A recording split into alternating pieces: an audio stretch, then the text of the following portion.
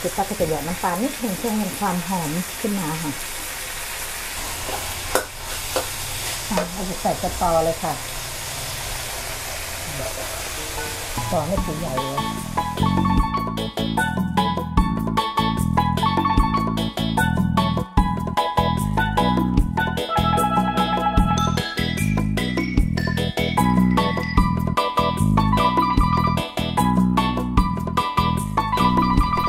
สวัสดีค่ะ FC ช่องในโลกพาเที่ยวและสวัสดีเพื่อนๆที่น่ารักทุกท่านนะคะ วันนี้คุณตั๊กก็ได้เมนูสตอที่ผู้ปกครองให้มานะคะคุณตั๊กก็จะมาผัดสตอ หมูสับใส่กุ้งสดนะคะ สตอฝักใหญ่มากเลยเม็ดใหญ่ๆนะคะน่าทานนะคะแล้วเครื่องปรุงไม่มีอะไรมากนะคะ อันนี้ค่ะมันจะเด็ดอยู่ที่อันนี้ค่ะพริกแดงกินดากระเทียม แล้วก็หอมแดง แล้วก็กะปิ กุตักโขกรวมกันเรียบร้อยนะคะพริกแดงกินดากะปิ กระเทียมหอมแดง แล้วก็หมูสับ กุ้งสดกุตักจะผัดด้วยน้ำมันหมูนะคะ เครื่องปรุงไม่มีอะไรมากกันซอสปรุงรสปลาปลาเขียวนะคะนะคะซอสปรุงรสปลาเขียวนะคะด้วยปรุงแล้วก็น้ำเอ่อน้ำปลา น้ำตาลทราย แล้วก็น้ำมันหอยซีอิ๊วขาว อะ มาจัดการเลยค่ะง่ายๆ ผัดแป๊บเดียวก็ได้ทานแล้วค่ะคุณตักใช้น้ำมันหมูนะคะ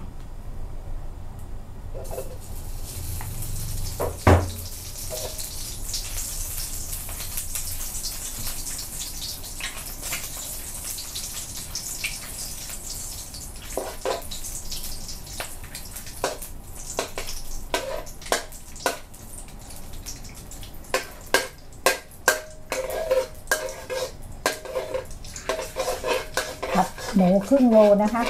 เป็นเพื่อนๆหมูสับครึ่งโลหมูสับครึ่งโลนะคะ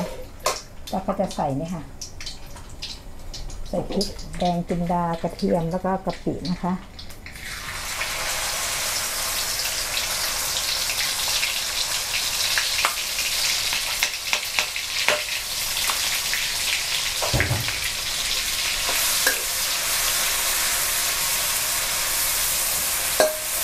มากใส่มากเผ็ดน้อยใส่น้อยนะเพื่อนๆผัดให้หอมนะคะ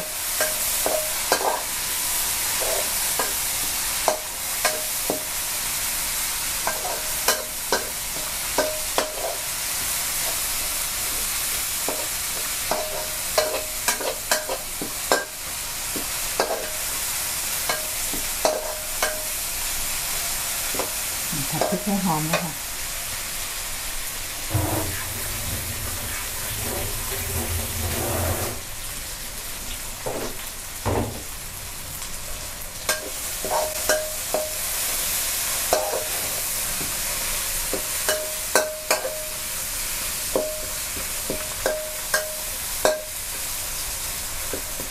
อ่า พอผัดพริกหอมแล้วคุณตั๊กก็จะใส่หมูสับนะคะ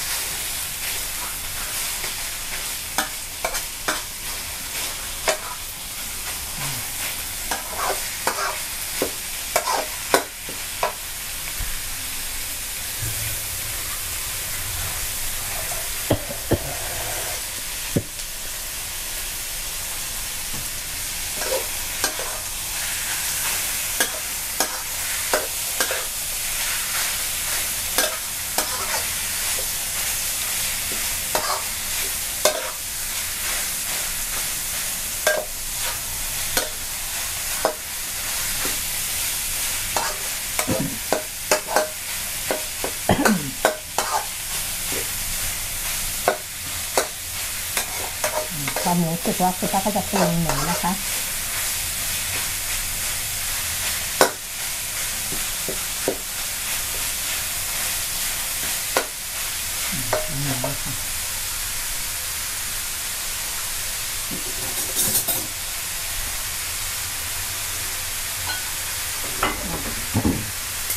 ใส่ที่ขายค่ะ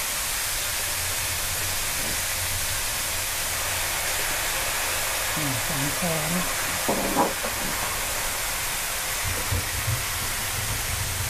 ซอสปรุงรสขาวเขียวค่ะหนึ่งช้อนนะคะตามด้วยน้ำปลาน้ำตาลค่ะน้ำตาลน้ำช้อนค่ะ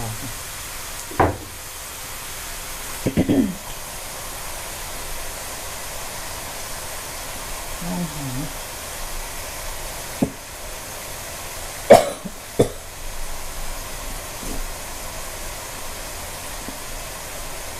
มันหอยใส่เยอะหน่อยแทน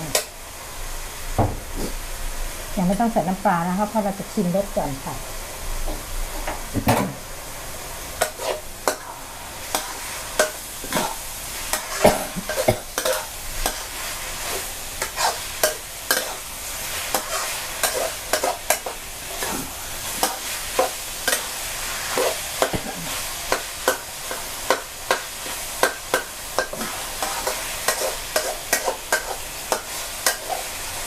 รสชาติอาจารย์จะเกิด ต้องใส่มะกรูดค่ะ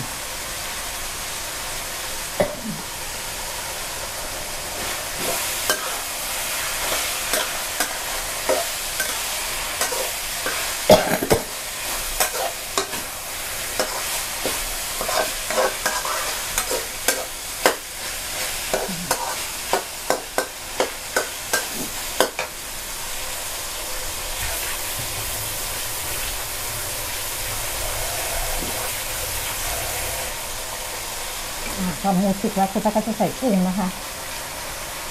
กุ้งสุกง่ายค่ะ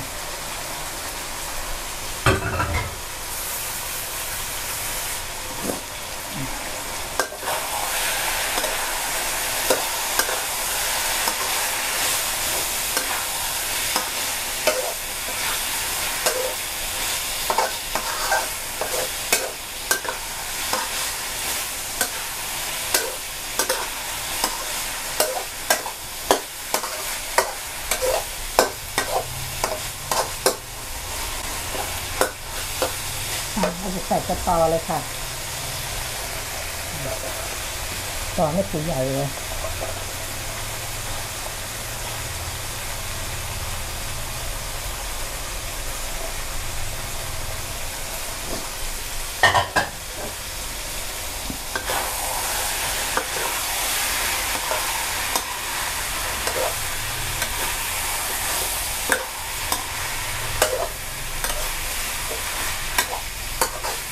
เพื่อนๆจะเติมน้ำอีกก็ได้นะแต่จะตักชอบผัดแห้งๆแบบนี้นะคะ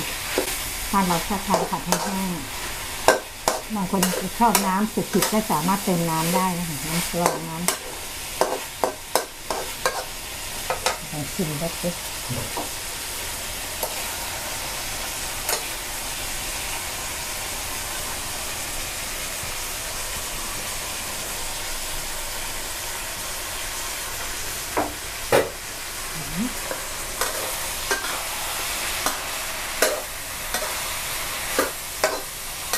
รสชาติเข้มข้นมาก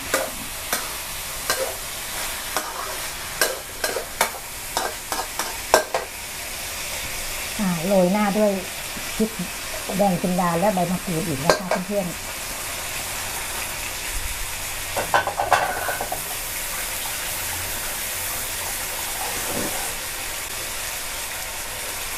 คือตักก็จะหยอดน้ำปลานิดนึงเพื่อให้ความหอมขึ้นมาค่ะอืมตักแล้ว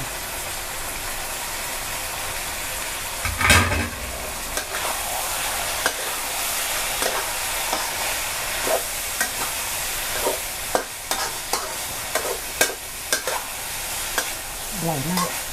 ผัดสตอกุ้งสดหมูสับ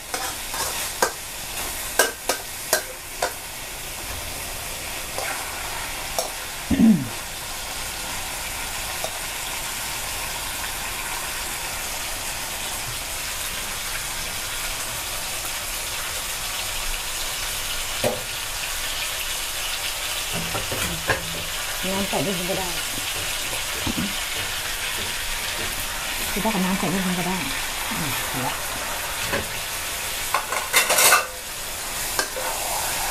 อืม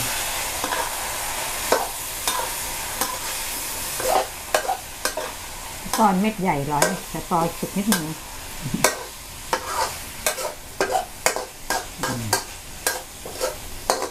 อ่าเสร็จเรียบร้อยแล้วค่ะเพื่อนๆอืม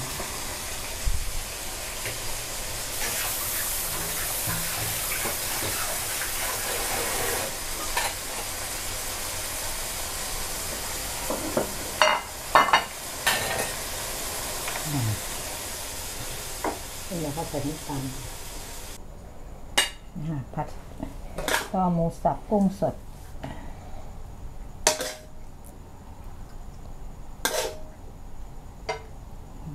น่าทาน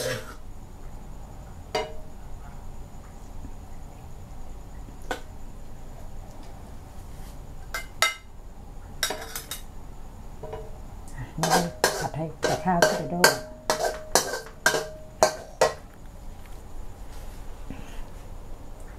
ผัดสตอหมูสับใส่กุ้งสดนะคะเสร็จเรียบร้อยแล้วเพื่อนๆรสชาติเข้มข้นมากเลยค่ะ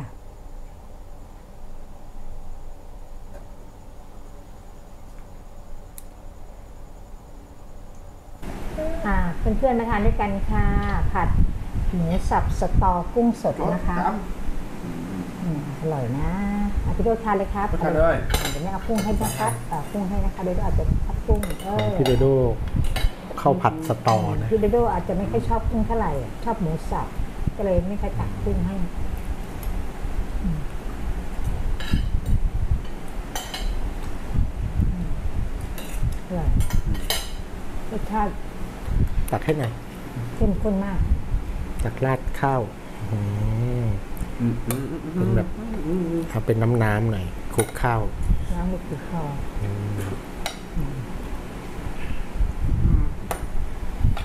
แม่กินข้าวผัดโดโดด้วยอร่อยนะอืมอืมอืมอร่อยนั่นนะมารสชาติกุ้งตัวใหญ่ ๆ เลย อืมนัวๆเพราะว่าใส่กะปิคำบ้านของไทย ส่วนห่อหมกนี่จากร้านพี่แตนนะฮะ เพื่อนๆห่อหมกปลากราย แล้วก็มีเนื้อกินห่อหมกปลากระพงห่อหมกปลากรายเนื้อปลากระพงอืมนี่มีน้ำปลา น้ำปลาประจำโต๊ะอร่อยเกลือน้ำปลาพริกน้ำปลาฝีมือคุตักคุตักบอกให้ตักน้ำน้ำหน่อย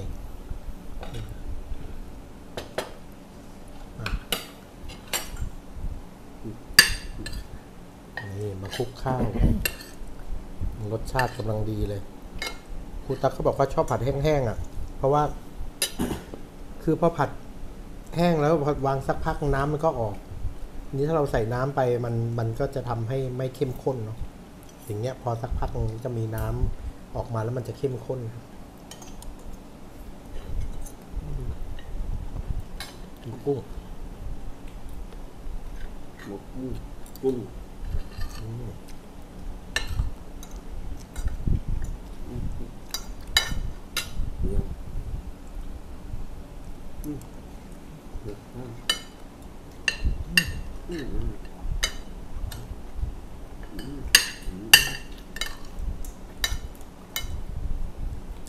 ร่อยเข้มข้นมาก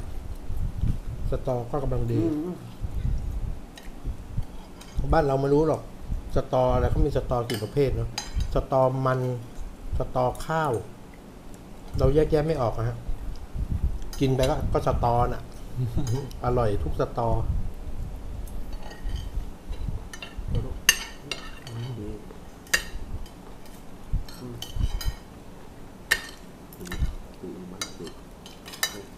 แต่ไม่รู้เรากิน ที่ครูตักผัดนี่มันทำไมมันไม่ไม่กลิ่นฉุนเหมือนนั่นเนาะ เหมือนที่อื่น เพราะหรือว่าเพราะเรามีน้ำพริกดับกลิ่นเนาะบางทีมันรู้สึกฉุนหมายถึงว่ากินเขาบอกฉุนสตอเหม็นสตออะไรอย่างเงี้ย แต่บ้านเราผัดแล้วมันมันไม่เหม็น มันกำลังดีอืม